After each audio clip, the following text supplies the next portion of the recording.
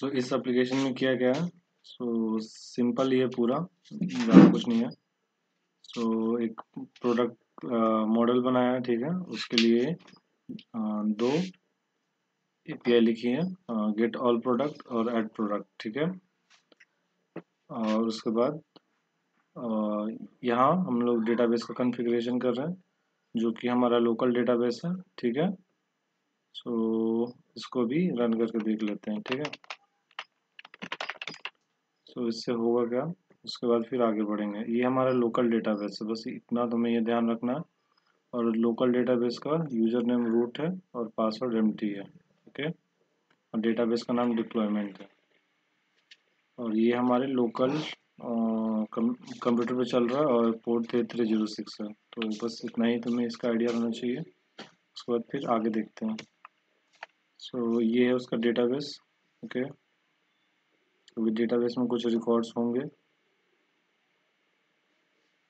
तो कुछ नहीं है। चलो, बढ़िया है, क्योंकि हम लोगों ने क्रिएट यूज़ किया वहाँ। तो ये स्वेगर का एपीआई लोकल होस्ट स्वेगर ये तुम्हें पता ही है। तो अभी हम लोग कुछ डेटा क्रिएट करेंगे यहाँ से। तो ट्राई नाउ पे क्लिक किया। ठीक है। तो यहाँ कुछ डेटा क्रिएट हुआ है, और इससे हम लोगों ने डेटा मंगा लिया। ओके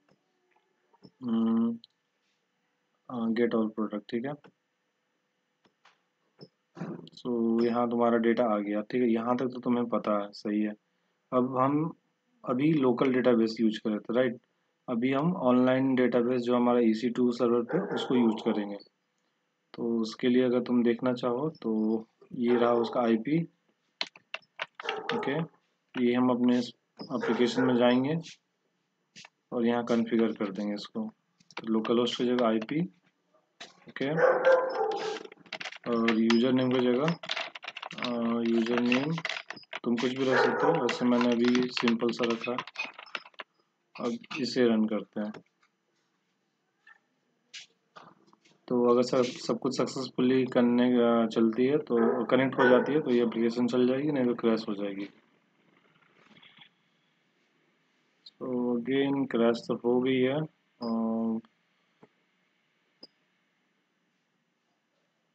देखते हैं क्यों। गेम पॉज कर